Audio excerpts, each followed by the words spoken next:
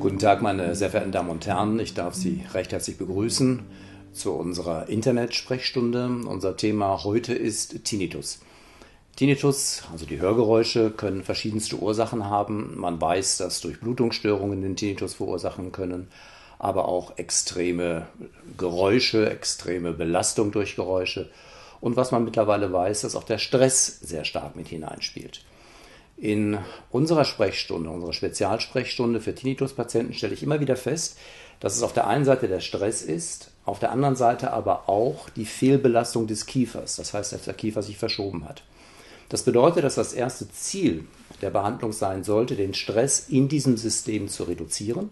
Und das ist in erster Linie das nächtliche Knirschen, Knirschen macht Geräusche, es gibt aber auch das nächtliche Zähnepressen, das macht keine Geräusche. Und da werden immense Kräfte frei, die unmittelbar vom Innenohr wirken, also da, wo sich der Tinnitus im Endeffekt ausbildet.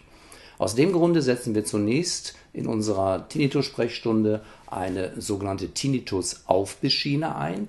Das ist eine Schiene, die nur im Schneidezahnbereich Kontakt hat und die nicht mehr es möglich macht, mit den Zähnen zu knirschen. Das ist das eine.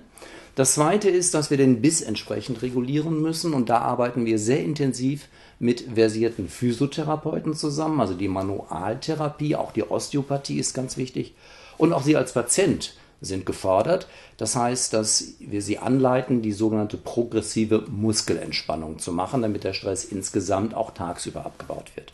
Entscheidend wichtig ist, dass Sie frühzeitig zum Zahnarzt gehen, nicht bevor schon tiefere Hirnregionen auch in Mitleidenschaft gezogen worden sind, also zum Beispiel das limbische System, also das Schmerzgedächtnis. Also frühzeitig zum Zahnarzt gehen, der sich auf Tinnitus spezialisiert hat. Falls Sie noch Fragen haben sollten, schicken Sie mir einfach eine Mail, beantworte ich gerne, oder kommen Sie zur unverbindlichen Sprechstunde bei uns vorbei. Ich wünsche Ihnen noch einen schönen Tag. Vielen Dank.